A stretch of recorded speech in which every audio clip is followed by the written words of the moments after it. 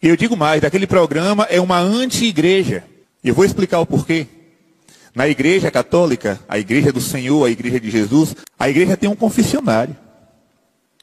Ali eu vou, conto o meu pecado, a minha miséria, a minha sujeira, a minha podridão.